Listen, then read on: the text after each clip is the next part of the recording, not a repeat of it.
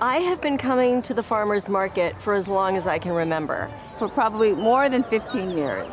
This will be our second summer coming to the farmer's market. I've been coming to the farmer's market since I was a kid. For eight years? 1997 was the first year I came. Shoot, 10 years?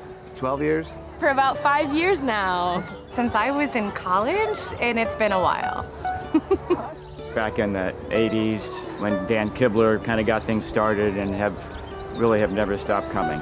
I'm not a morning person by nature, but I get here when the market opens because I know that that is really when the variety and the quantity is going to be the best. For strawberries, asparagus, or peaches, it requires that you get up, set your alarm, and get here before the crowd. I always try to get to the market early to avoid the heat and the rush, and usually because I buy things that I might want to go back and plant in my garden. I normally get to the market very early if I'm alone, and it's a little bit later if I'm uh, in tow with kids and the wife. Today we got here a little earlier, around 9 o'clock, but usually it's closer to 10.30. There should be a farmer's market everywhere because it builds community. We have this opportunity to buy our food from people who are within a 50 mile radius and they're growing, producing, selling their own items here. And it's available year round. I really like that it's kind of in the center of the city. We got bikes over the spring, and so this is the first time this year that we rode our bikes here, which was really fun. My mom lives right around the corner, and we walk from her house. I like to come to the farmer's market because I get much money. And you guys have just a ton of programs that help us actually be able to afford the stuff at the farmer's market. And I know I'm getting from good people, some of them who are my friends. I love the relationship. Everybody's so consistent, so kind. They remember your names. There's so many that I know, and I can go get honey or eggs uh, with somebody who I've bought it from for years. Uh, but then a lot of times I meet somebody new who has a new product that I haven't tried, uh, or some new produce that I haven't seen before, and get to actually talk to them about it. It's it just reminds me of my home, my home country. It truly is the heart of this community. Just the energy that you find at the market, the variety, and how things change from season to season. It not only keeps our local farmers busy and in business, but it also helps me to eat locally, eat in season, and to make sure that I'm getting the freshest possible produce inside of my little ones' bellies. Every season offers a different kind of bounty.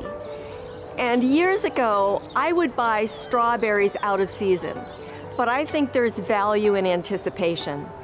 So I know that I love butternut squash, and I'm gonna have to wait for it. It's gonna come in September, October, and I'm gonna be ready, along with apples, and then the start of root crops in the wintertime, and greens. You know, we're spring, end of spring, I wanna get some fresh asparagus, some good greens. When we get into summertime, once the melons and the tomatoes start, like, I'm actually salivating right now. And so learning to eat with the seasons, I think, gives us an appreciation for what each season brings, and more of a respect for what our planet provides.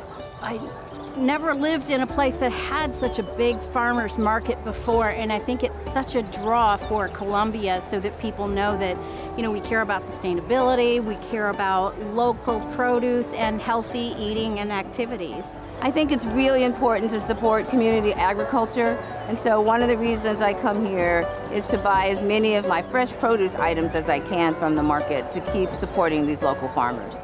I have spent 40 plus years studying the value of good food. That's really what this market does in providing healthful foods, locally building our regional economy, supporting a sense of community, a sense of larger family. That's really what makes a community strong. I keep coming back because the quality is amazing. The food is amazing. The people are amazing. It's knowing that I can come here as a one-stop shop. I don't have to go anywhere else for my groceries. You know, there's so much to do. There's um, food vendors, so I can have breakfast or lunch here. Some weeks I missed uh, Saturday. I feel I didn't make anything. I didn't make any progress in my week. So I sit in home, feel very sad that I didn't make it. There's always something new and different. I mean, we just discovered ramps a few weeks ago, and who knows what we're going to discover the next time. Getting to see it grow and seeing, meeting new people that are seeing it for the first time, and uh, yeah, just being able to be a part of that growth. I've gotten to see all kinds of different changes since we were just in a flat parking lot to moving to the other location and then coming back. So it's been really cool to kind of see everything that's uh, evolved along the way. All the, the workshops that they have and and what CCUA has done here and the collaboration that goes on and to see folks become who they are and, and what they represent together has just been absolutely special.